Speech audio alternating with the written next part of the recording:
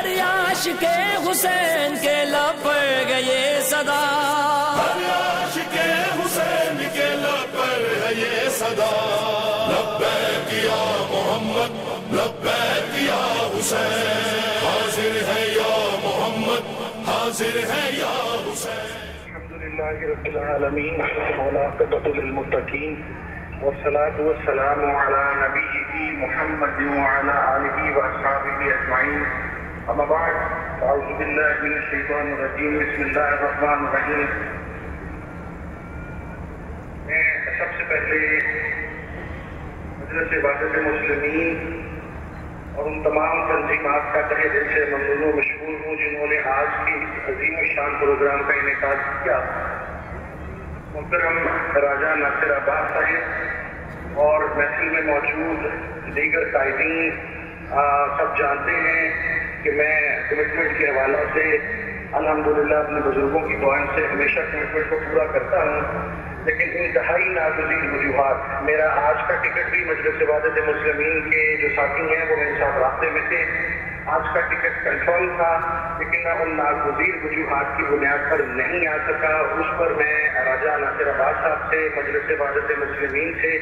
اور تمام منتظمین سے دلی طور پر معذرت خواہ ہوں اور مجھے امید ہے کہ میری اس معذرت کو قبول کیا جائے گا۔ سامعین محترم، جیسا کہ آپ سب کے علم میں ہے کہ آج عالم اسلام انتہائی قسم پرسی اور انتہائی دشوار کن حالات سے دوچار ہے۔ میں بڑے واضح طور پر ہمیشہ یہ کہتا رہا کہ خانہ کعبہ اور روزہ رسول کے جو محافظین ہیں کہ ان کی اولین ذمہ داری ہے کہ وہ عالم اسلام کے سربراہ بنے، قائد بنے اور آگے بڑھ کر عالم اسلام کو لیڈ کریں لیکن یہ ہماری ہمیشہ بدقسمتی رہی۔ بہت طویل عرصہ سے کہ جب سے سعودی عربیہ میں آل سعود کی حکومت آئی، تو پورے عالم اسلام میں اسلامی مفادات کو پسے پشت ڈالتے ہوئے اسرائیل اور دیگر ممالک کے مفادات کے تحفظ کے لیے آل سعود نے اپنا سرگرم کردار ادا کیا۔ اور اگر آج کے دور کے اندر ہم نظر ڈالیں، جس عرب سپرنگ کا ریفرنس دیا جاتا ہے، وہ عرب سپرنگ ہو، یا شام کی صورتحال ہو، یا یمن کی صورتحال ہو، لیبیا کی صورتحال ہو،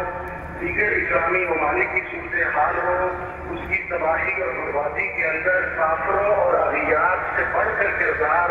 موجودہ آل سعود کی جو نمائندگان ہیں، انہوں نے ادا کیا۔ اور اس بات پر اس کو جتنا بھی کنڈیم کیا جائے یہ بات ہمارے لیے باعث شرم بھی ہے، باعث ندامت بھی ہے کہ حرمین کے سو کالڈ خادمین عالمی اسلام کا تحفظ کرنے کی بجائے کافروں کا تحفظ کرنے کے اندر پیش پیش ہیں۔ میں گزشتہ کے گزشتہ روز ایک جگہ پر موجود تھا، وہاں پر میری ایک ماں نے مجھ سے یہ سوال کیا کہ آپ یہ بتائیں کہ اسرائیل سے اگر جہاز اڑیں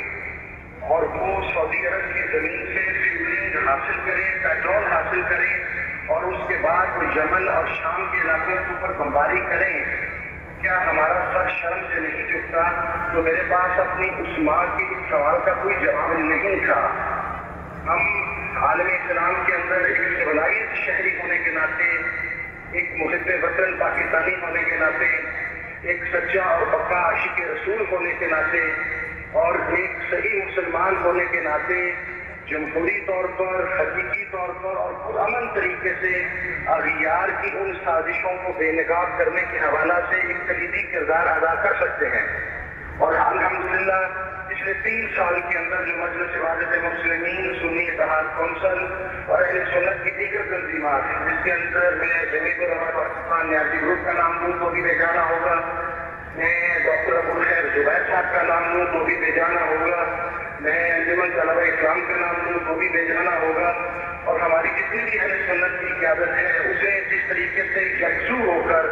پاکستان کے اندر جو شیعہ اور سنی فساد کی بات کی جاتی تھی، اس کو جس طریقے سے نگیٹ کیا اور اس کا پردہ جس طریقے سے چاند کیا، اس کے اوپر وہ حلقے جو اہل سنت اور اہل تشیعوں کی قاتلوں قاتل ہیں اور ہماری لاشوں کے ذمہ دار ہیں، ہماری شہداء کو مارنے کے ذمہ دار ہیں، ہمارے مزارات، ہماری عبادت گاہوں امام بارہ گاہوں کو گرانے کے شہید کرنے کے ذمہ دار ہیں۔ ان حلقوں کے اندر ایک بہت شدید بے چینی اور بے اطمینانی کی لہر پائی جاتی ہے۔ آج ہم سب کو ضرورت اس عمر کی ہے کہ ہم اکٹھے ہو کر، ہم اکٹھے ہو کر غیروں کی سازشوں کو، کافروں کی سازشوں کو، جس کے اندر ہمارے کچھ اپنے بھی شامل ہیں، اگر ہم یونائٹڈ ہو کر اس چیز کے آگے سیسا پلائی میں دیوار بنیں گے تو انشاءاللہ رب العزت دنیا کی کوئی طاقت بھی ہمیں کامیابی سے نہیں روک سکتی۔ جیسا کہ آپ نے دیکھا پچھلے کچھ عرصہ سے پاکستان کے اندر شیعہ سنی کلنگ کے حوالہ سے اب کوئی بات نہیں کی جاتی۔ اس کی بنیادی وجہ بھی یہ ہے کہ ہم نے تمام اہل تشریحوں کی طرف سے اور اہل تسنم کی طرف سے لوگوں نے آ کر ٹی وی کے اوپر، سوشل میڈیا پر، پرنٹ میڈیا میں، الیکٹرانک میڈیا میں اس چیز کو کلیریفائی کیا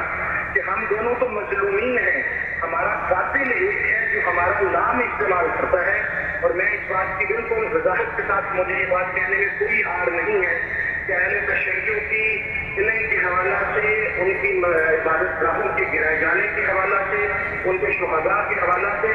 اہل سنت نے اپنے بھائیوں کا بڑھ چڑھ کر ساتھ دیا الحمد للہ اور ہمارا یہ تعاون کا سلسلہ آئندہ بھی جاری رہے گا۔ ہم جس طرح کے شیخ نمر کے ساتھ سعودی عربیہ کے اندر کیا گیا اور جو ظلم و بربریت کی ایک داستان رقم کی گئی، اگر اس قسم کے واقعات کے خلاف متحد ہو کر اکٹھے کھڑے ہوں گے، تو انشاءاللہ رب العزت کامیابی ہمارا مقدر ہوگی۔ اور میں یہاں پر اس مجلس کے ذریعے، اس بہترین اور عظیم الشان کانفرنس کے ذریعے ایک ریکویسٹ بھی کرنا چاہتا ہوں۔ اپنے ان تمام ذمہ داران سے، اپنی ماؤں سے، اپنی بہنوں سے، تمام کارکنان سے، تمام جماعتوں کے قائدین سے، میری ادب کے ساتھ ایک ریکویسٹ ہے۔ کہ خدا خدا اب غیروں کا اگلا ٹارگٹ پاکستان ہے۔ جس طریقے سے شام کے اندر وحشت و بربریت کا کھیل کھیلا گیا، جس طریقے سے عراق کے اندر وحشت و بربریت کا کھیل کھیلا گیا، جس طریقے سے لیبیا کے اندر وحشت و بربریت کا کھیل کھیلا گیا، جس طریقے سے یمن میں وحشت و بربریت کا کھیل کھیلا گیا، اب غیروں کے سامنے سب سے بڑی سیسا فلائی ہوئی دیوار ہے، جس کو وہ ایٹمی طاقت کہتے ہیں، بلکہ ہمارے ایٹم بم کو اسلامی ایٹم بم کہا جاتا ہے۔ تو ان کا سب سے بڑا ٹارگٹ پاکستان ہے۔ ہمیں ہاتھوں میں ہاتھ ملا کر پاکستان کی سیکورٹی فورس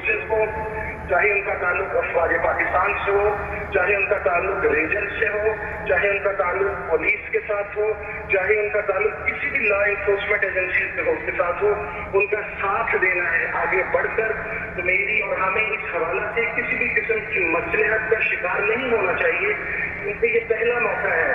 تقریباً تیس سال جن لوگ جن لوگوں نے اس ملک کو فرقہ واریت کے اندر دکیلا جن لوگوں نے یہاں پر نظارات کو، عبادت گاہوں کو امام بارگاہوں کو، قائدین کو، علماء کو شیوخ الحدیث کو شہید کیا، ان لوگوں کے مقاصد کے اوپر، ان لوگوں کے ٹارگٹ کے اوپر پہلی مرتبہ آپریشن ضرب عزت کے ذریعے ایک کاری ضرب لگائی گئی۔ ہمارا یہ کام ہے، ہمارا یہ فرض ہے، مسلمان ہونے کے ناطا سے بھی اور ایک پاکستانی ہونے کے ناطا سے بھی کہ ہم نے اسلام اور پاکستان کی بقا کے لیے پاکستان کو قائم رکھنے کے لیے ان تمام لوگوں کا ساتھ دینا ہے جو اس حوالہ سے اس آپریشن کے اندر مصروف عمل ہیں۔ اور دیکھیں، ہم ایک اور بات کو سمجھنا بھی چاہیے کہ وہ جماعتیں جو بیت اللہ محسوس کو شہید کہیں وہ جماعتیں جو افواج پاکستان یا پاکستان کے معصوم بچوں کو، ماؤں کو، بہنوں کو وہ مقبول کہیں یا کہیں کہ جہنم واصل ہیں ان کے حقیقی چہرے کو بے نقاب کرنا ہے۔ میں ہمیشہ سے ایک بات کہتا رہا کہ اگر حکومت بس قسمتی ہمارے ملک میں یہ ہے کہ ریاست جو سول ڈیموکریٹک گورنمنٹ ہے سو کال اس کی کسی قسم کی بھی کچھ سنجیدہ کوشش نہیں ہے کہ اس معاملے کو حل کیا جائے۔ پاکستان کے اندر ایجوکیشنل ریفارمز نہیں لائی گئی پاکستان کے اندر مدارس کے خلاف نیشنل ایکشن پلان کے تحت آپریشن نہیں کیا گیا۔ پاکستان کے اندر نیشنل ایکشن پلان کے تحت فرقہ واریت پھیلانے والے گروپوں اور بینک آؤٹ لیٹس کو آزادی کے ساتھ کام کرنے کی اجازت دی گئی۔ پاکستان کے اندر نیکٹا کی ابھی تک میٹنگ نہیں ہو سکی۔ نیکٹا کو فنڈ ریلیز نہیں ہو سکی۔ نیشنل ایکشن پلان کی سب سے بڑی دشمن یہ ہماری موجودہ مرکزی حکومت ہے۔ اور یہ بات بھی کسی سے ڈکی چکی نہیں کہ بے شک ہمارے ملک کے وزیر داخلہ ہو یا بے شک مختلف صوبوں کے صوبائی وزراء ہو ان کے نہ صرف نظم جماعتوں کے ساتھ قریبی مراسم ہیں، بلکہ وہ ان جماعتوں کو فنڈنگ کرنے کا مین سورس بھی ہے مجھے آپ بتلائیے، اگر پاکستان کا وزیر داخلہ پاکستان کے سب سے بڑے ایوان یعنی کہ سینٹ کے اندر یہ کھڑا ہو کر یہ بات کہے کہ ملا عبد العزیز کے خلاف ہمارے پاس کوئی ایف آئی آر نہیں ہے اور اس کا کوئی کرمنل ریکارڈ نہیں ہے تو بیرونی دنیا ہمیں کیا کہے گی؟ میرا سوال یہ ہے کہ ملا عبد العزیز انہوں نے کسی جگہ پر کوئی ریڑی نہیں لگائی ہوئی تھی کسی سامان کی کہ وہ لا کی وائلیشن کے اندر ان کا نام ایف آئی آر کر کے وہ اشتہاری بن گئے۔ مسئلہ صرف یہ ہے، جو ہمیں سمجھنا چاہیے کہ جو لوگ بیت اللہ محسوس کے جہنم واصل ہونے پر مگر مچ کے آنسو بہاتے رہے جو حکیم اللہ معصوم کو شہید کہتے رہے جن کے گھروں میں سفید ماتم بچھا رہا، وہ لوگ آج بھی کسی صورت کے اندر ان کا ان فکا وارہ قاتلوں کے خلاف کوئی کاروائی کرنے کے لیے تیار نہیں ہے ہم نے وہ اہل تشیع ہو یا اہل سنت ہو پاکستان ہو یا پاکستان سے باہر ہو ہم نے ہمیشہ ان لوگوں کا ساتھ دیا، ان تاثروں کا ساتھ دیا جو موت دل مزاج ہیں۔ ہمارے بڑوں کی فلاسفی ہے کہ اپنا مقصد چھوڑونا اور کسی کا مقصد چھیڑونا۔ لیکن ہم اس سرزمین پاکستان پر جو ہمارے بزرگوں کی عظیم قربانیوں سے حاصل کیا گیا، ہم یہاں پر کسی ملا پر چیز کی اجازت نہیں دیں گے کہ وہ گن پوائنٹ کے اوپر ہمیں شریعت کے بارے میں بدلائے۔ وہ گن پوائنٹ کے اوپر ہمیں یہ کہے کہ ہم اپنا عقیدہ تبدیل کر کے اس کے ہم عقیدہ ہو جائیں ہم ایسے کسی ملا کے خلاف، ہم ایسی کسی کنزل جماعت کے خلاف، ہم ایسی کسی دہشت گرد اور فرقہ واریت جماعت کے خلاف انشاءاللہ ہاتھوں میں ہاتھ ڈال کر متحد ہو کر پوری دنیا کو اقوام عالم کو یہ بتلا دیں گے کہ الحمدللہ اہل پاکستان یہ امن سے محبت کرنے والے لوگ ہیں۔ ماشاءاللہ! کون شہید کی آواز شیعہ سنی اتحاد کون شہید کی آواز شیعہ سنی بھائی بھائی شیعہ سنی بھائی بھائی پاکستان پاکستان جاری رکھیے جاری رکھیے آپ اور میں یہاں پر ایک بات اور واضح کرنا چاہتا ہوں کہ بیرونی دنیا بڑے احسن طریقے سے دیکھیں، مظلومین کی آواز اٹھانا، یہ ہمارے نبی سے لے کر ہمارے تمام اولیاء، ہمارے تمام صالحین کی یہ سنت ہے۔ امام حسین نے بھی ظالم کے خلاف علم بلند کیا تھا اور اس کی بقا کے لیے اس پرچم کے نیچے اکٹھا ہونا تمام مظلوم مسلمانوں پر یہ فرض عین ہے۔ اب جب تک ہم اکٹھے نہیں ہوں گے، ہم اس من... ہم اس مشن کو، ہم امام علی مقام کے اس مشن کو حقیقی مقام تک نہیں پہنچا سکتے۔ اور ایک اور بات کو یاد رکھیے گا کہ آج دنیا یہ کہتی ہے اور ہمارے اوپر اہل سنت کے حوالہ سے یہ بات کی جاتی ہے کہ شیعہ اور سنی، میں اس بات کی اسٹرانگلی کنڈم کرتا ہوں کہ آپ رانا شیعہ اور سنی کا لفظ استعمال نہ کریں۔ اس لیے کہ سنی شیعہ کی کلم کے اندر ملوث نہیں ہے۔ سنی شیعہ کو نقصان پہنچانے والوں میں سے نہیں ہے۔ سنی کے خلاف شیعہ کے قتل عام کی کوئی ایف آئی آر نہیں ہے۔ سنی کے خلاف شیعہ کے نظارات کو اور ان کی امام بارگاہوں کو شہید کرنے کے حوالہ سے کوئی ایف آئی آر نہیں ہے۔ تو خدا، یہ شیعہ سنی کلن کا یا شیعہ سنی لڑائی کا تذکرہ نہ کیا جائے، وہ مخصوص گروہ جسے آپ سلفی کہیں یا جسے آپ دیوبندی کہیں، میں بھائی معذرت کے ساتھ فرقہ وارانہ بات نہیں کرنا چاہتا، لیکن گراؤنڈ ریالٹیز وہی رہتی ہیں جو ہوتی ہیں اور حقائق کو قوموں تک پہنچانا لیڈرشپ کی رسپانسبلٹی ہوتی ہے۔ ہماری نہ صرف اس سب کانٹیننٹ کے اندر، بلکہ اگر آپ سب کانٹیننٹ سے باہر نکلیں، آپ عرب کے اندر جائیں، آپ یورپ کے اندر جائیں، تو وہاں پر بھی وہ اسکول آف تھاٹ جو اپنے آپ کو سلفی کہتا ہے یا دیوبندی کہتا ہے، وہ دس وے اور دیٹ وے اگرچہ سارے اس میں شامل نہیں اسکول آف تھاٹ کے، لیکن اکثریت انہی لوگوں کی ہے اور ہمیشہ یہ سوال ہوتا ہے کہ یاد رکھیے، نعرہ تکبیر اللہ اکبر یہ ہمارے اسلام کی بنیادی اساس اور ہماری اسلام کی پہچان ہے۔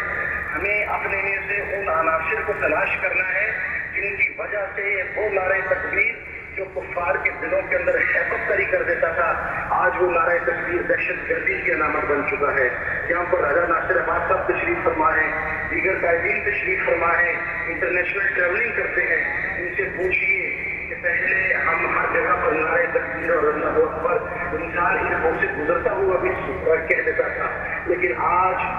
پاکستان کے اندر نہ صرف بلکہ پوری دنیا کے اندر ہم نعرہ تکبیر نہیں کہہ سکتے۔ اس لیے کہ دوسرے ملک کی سیکورٹی ایجنسی سمجھتی ہیں کہ نعرہ تکبیر اگر وہ کہتا ہے یا اللہ اکبر اس کا کوئی جواب دیتا ہے تو یہ ایک سوسائڈ بامبر کی پہچان ہے۔ ہم نے سے اپنے ان سارے عناصر کو اور ساری بھیڑوں کو بے نقاب کرنا ہے، جنہوں نے اسلام کی اس اساس کو، اسلام کے اس نظریے کو پوری دنیا کے اندر بدنام کیا اور اسلام کا وہ چہرہ دکھانے کی کوشش کی گئی جو کہ حقیقت میں نہیں تھا۔ اور اس سلسلے میں میں ایک مطلب مرتبہ پھر میں سمجھتا ہوں، میں دعا ہی کر سکتا ہوں کہ ہم خدا کے حضور سر بسجود ہو کر کسی کی اصلاح کی دعا کر سکتے ہیں، لیکن مجھے یقین ہے کہ سعودی عرب اور آل سعود اپنے منفی کردار سے باز آئیں گے۔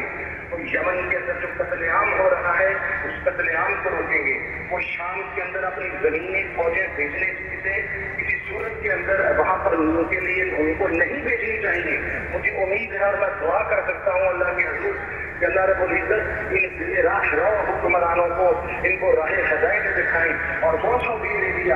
کے پاس اربوں خربوں ڈالر کے ایسٹ ہیں وہ اربوں خربوں ڈالر کے ایسٹ وہ عورتوں کے اوپر خرچ نہ کیے جائیں، وہ فرمنائزنگ کے اوپر خرچ نہ کیے جائیں، وہ ذاتی جہاز خریدنے پر صرف نہ کیے جائیں، وہ بلڈنگ خریدنے کے اوپر صرف نہ کیے جائیں، وہ اشراف کے اوپر خرچ نہ کیے جائیں، بلکہ وہ مسلمانوں کی اصلاح کے لیے خرچ کیے جائیں۔ اور میں آخر میں صرف یہ بات کہنا چاہتا ہوں، جو لوگ کہتے ہیں، ہمیں بہت سارے ساتھی پاکستان سے باہر ملتے ہیں وہ کہتے ہیں کہ جی سعودی عربیہ کہتا ہے کہ میرے پاس دنیا کی سب سے ٹرینڈ اور سب سے مستند فوج ہے۔ تو میرا سوال یہ ہے کہ جب پاکستان کے اوپر سکسٹی فائیو کے اندر انڈیا نے پاکستان کے خلاف جنگ ڈکلیئر کی سیونٹی ون کے اندر پاکستان ٹوٹا، اس کے بعد کارگل کا محاذ ہوا، تو ہماری فوج نے اور ہماری عوام نے فوج کے شانہ بشانہ کھڑے ہو کر اپنے دشمن سے وہ جنگ لڑی۔ اور الحمدللہ سیونٹی ون کو نکال کر ہم نے وہ جنگ جیتی بھی تو کیا وجوہات ہیں کہ وہ سعودی عربیہ جو یہ سمجھتا ہے کہ وہ بہت مضبوط ہے، اس کی فوج بہت ٹرین ہے، اسے کسی کی ضرورت نہیں ہے۔ تو آج کیا وجہ ہے کہ وہ پاکستان اور دیگر اسلامی ممالک کے آگے بھیک مانگ رہا ہے کہ مجھے اپنی فوج دو؟ اس لیے کہ دہاڑی کے اوپر صبح کو اپنی دکان کھولنے والا تو شام کو چند گھنٹے بارڈر کے اوپر جائے، وہ فوجی نہیں ہوتا۔ اگر فوجی دیکھنا ہے تو افواج پاکستان کا فوجی دیکھو۔ اگر فوجی دیکھنا ہے تو ایران کا فوجی دیکھو۔ اگر فوجی دیکھنا ہے تو دیگر اسلامی ممالک کے فوجی دیکھو، تو نعرہ تکبیر اور نعرہ رسالت کے نعرے کے اوپر بارڈر کے اوپر کھڑے ہو کر اپنے دشمنوں سے بخشرے پیکار ہیں اور وہاں پر اپنے دشمنوں کو بالا کر رہے ہیں۔ اگر سعودی عربیہ میں اتنی طاقت ہوتی یا ان کے اندر اتنی کیپیبلٹی اور ابلٹی ہوتی، تو میں یہ سمجھتا ہوں کہ وہ یمن کا پروگرام کریٹ ہی نہ ہونے دیتے۔ ہم سب مسلمانوں کو بیٹھ کے سوچنا چاہیے کہ اگر خدا نہ خاصہ کسی دور پہ اسرائیل نے اگر حرمین کے اوپر جسارت کر، کسی قسم کی جسارت کرنے کی کوشش کی، تو یہ نااہل آل سعود کیا ہمارے حرمین کے تحفظ کی حقدار ہے؟ کیا یہ حرمین کا تحفظ کر پائے گی؟ ان کے تو سعودی عربیہ سے باہر ہیں، ان کی جائیدادیں سعودی عربیہ سے باہر ہیں، ان کی اولادیں سعودی عربیہ سے باہر ہیں، ان کی یشیاں سعودی عربیہ سے باہر ہیں۔ یہ تو ایک لمحے کے اندر اسرائیل کا مقابلہ کرنے کی بجائے سعودی عرب سے فرار ہو جائیں گے۔ اس لیے یہ ذاتی جہازوں کے مالک ہیں، یہ ذاتی کنوینس کے مالک ہیں اور یہ عالم اسلام کو اور حرمین کو کس کے در پر چھوڑ کے جائیں گے۔ کس کے رحم و کرم پر